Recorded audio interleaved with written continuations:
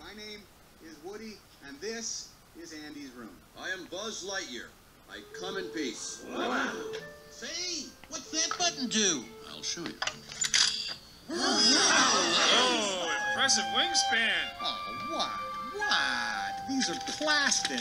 He can't fly. They are a terillium carbonic alloy, and I can fly. No, you can't.